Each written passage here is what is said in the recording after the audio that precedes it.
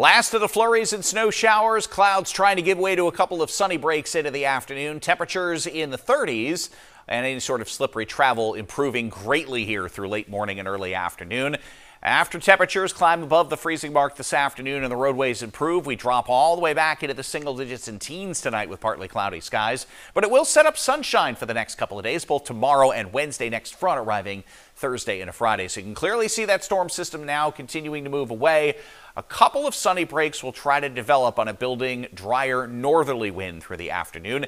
That will likely mean a couple of more flurries and snow showers up north. 35 to 40 elsewhere this afternoon with a lot of lingering clouds across the area before eventually fading later tonight between 0 and 20 from north to south. Tomorrow, partial sunshine, temperatures between 25 and 30, and then back into the 30s.